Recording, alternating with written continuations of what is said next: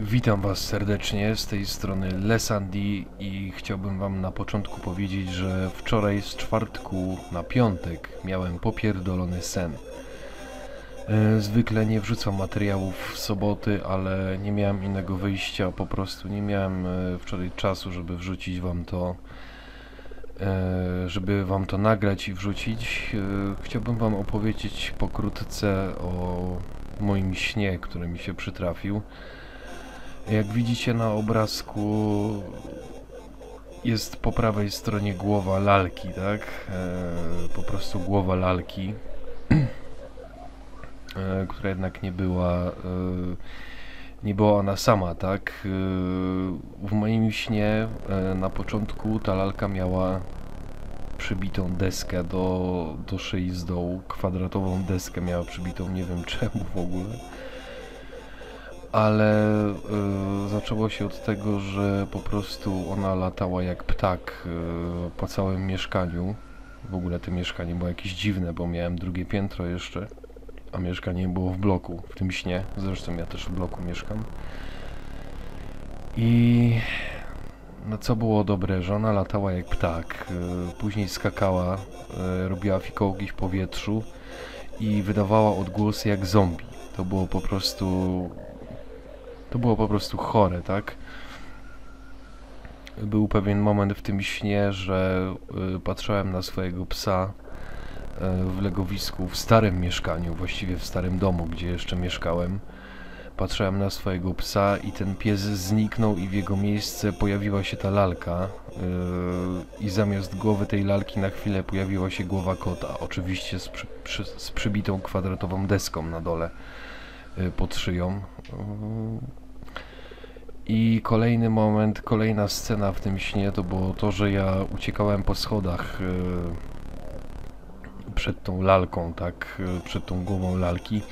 Ona mnie goniła i mnie złapała. Nie mogła mnie głową trafić i celowała, y,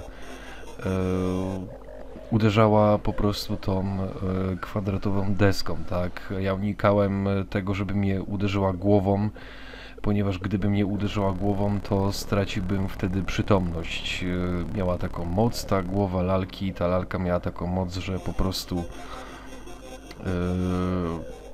yy, traciło się przytomność, kiedy, kiedy uderzała swoją głową, tak?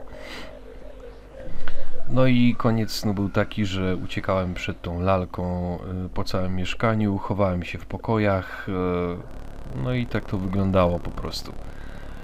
I to był właściwie cały sen, tylko że on był tak chory, że po prostu no, na dłuższą metę bym czegoś takiego nie zdzierżył.